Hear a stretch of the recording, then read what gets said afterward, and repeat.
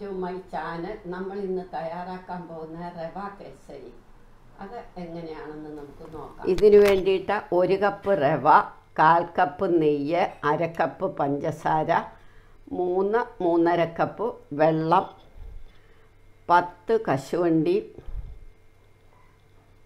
പത്ത് കിസ്മിസും.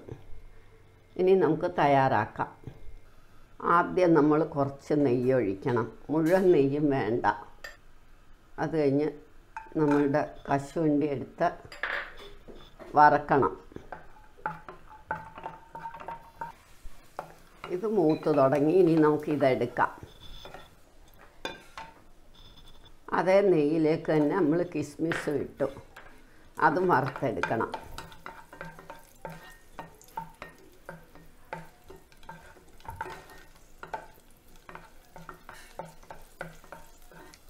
ഇത് നമുക്ക് എടുക്കാം അണ്ടിപ്പരിപ്പും മുന്തിരിങ്ങയും വറുത്തെടുത്തു. ഇനി നമുക്ക് അതേ നെയ്യിലേക്ക് റവ ഇട്ട് വറുത്തെടുക്കാം.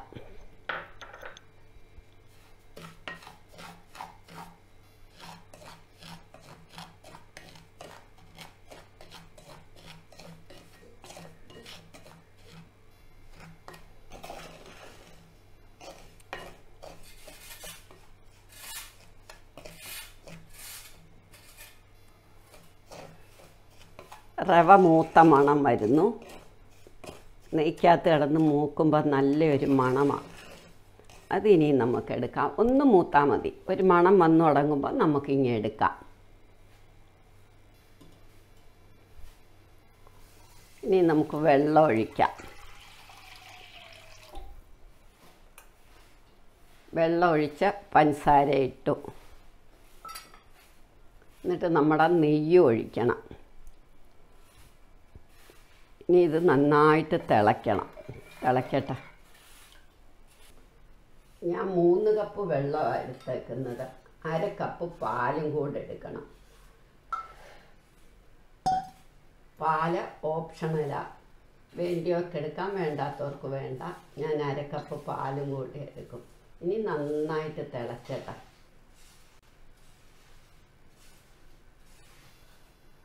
ഇത് തിളയ്ക്കാറായി. അപ്പോൾ നമുക്ക് കളറിന് വേണ്ടി യെല്ലോ കളർ പൗഡർ ഉപയോഗിക്കാം. ഞാൻ ഹെൽത്തി ആയതുകൊണ്ട് ഒരു നുള്ളു മഞ്ഞപ്പൊടി ഇടും. ഇത് നല്ലോണം തിളയ്ക്കണം. പാലും വേണ്ടില്ല. ഇനി ഇത് പാൽ തിളച്ചപ്പോൾ ഇനി നമുക്ക് റവ ഇതിനകത്തേക്ക് ഇടാം.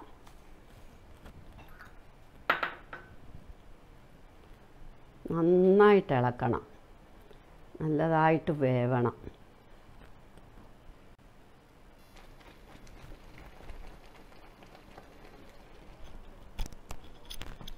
ഇതിനകത്തേക്ക് നമ്മൾ അണ്ടിപ്പരിപ്പും കിസ്മിസും എടുത്ത് വെച്ചിരിക്കുന്നതുകൂടി ഇടണം.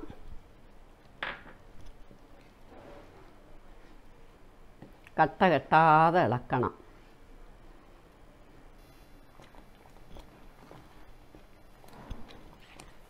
ഇത്തിരി കൂടെ പരുവാകുമ്പോൾ നമ്മളൊക്കെ അങ്ങ് നിർത്താം.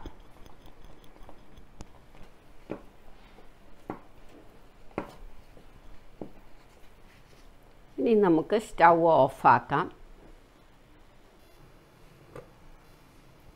നമുക്കൊരു മയം പരത്തിയ തട്ടത്തിലേക്ക് മുറിച്ചെടുക്കണം എന്നില്ല അല്ലാതായാലും മതി. ഞാൻ മയം പരത്തിയ തട്ടത്തിൽ കുട്ടികൾക്ക് മുറിച്ചെടുക്കുന്നതാണ് ഇഷ്ടം അതുകൊണ്ട് ഞാൻ മയം പരത്തിയ തട്ടത്തിലേക്ക് ഇഴിച്ച് മുറിച്ചെടുക്കും.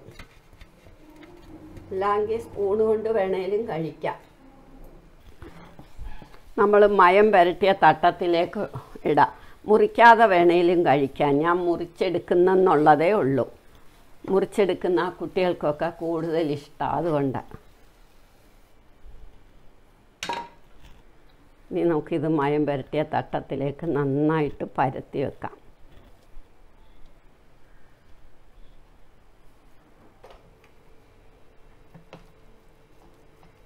തണുക്കുമ്പോൾ നമ്മളിതിങ്ങനെ മുറിച്ചെടുക്കണം. നമുക്കിപ്പോൾ ഒന്ന് വരഞ്ഞു വെക്കുന്നെന്നുള്ളതേ ഉള്ളൂ. ഇത് തണുക്കുമ്പോൾ മുറിച്ചെടുക്കാം. ഇതെല്ലാം മു വരഞ്ഞ തണുത്തു തുടങ്ങി. നന്നായിട്ട് തണുത്താൽ നന്നായിട്ട് മുറി. ഇനി നമുക്കിത് ഓരോ കഷ്ണം വീതം എടുത്ത് പ്ലേറ്റിലേക്ക് വെക്കാം.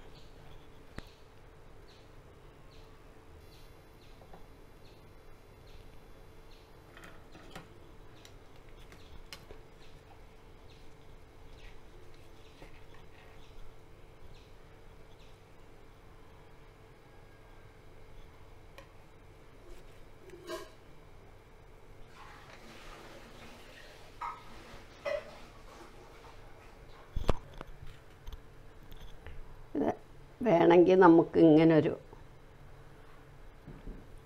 അണ്ടിപ്പരിപ്പ് കൂടെ പതിച്ച് വെക്കാം ഭംഗിക്ക്. നമ്മൾ ആ ഉള്ളിലിട്ടിട്ടുണ്ടല്ലോ.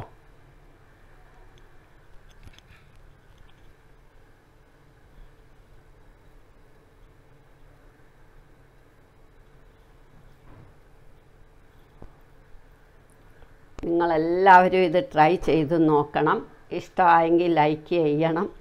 സബ്സ്ക്രൈബ് ചെയ്യണം. നമ്മളുടെ റവ കേസരി റെഡിയായി. എല്ലാവരും ഇത് ട്രൈ ചെയ്ത് നോക്കണം. ഇഷ്ടമായെങ്കിൽ ലൈക്ക് ചെയ്യണം സബ്സ്ക്രൈബ് ചെയ്യണം.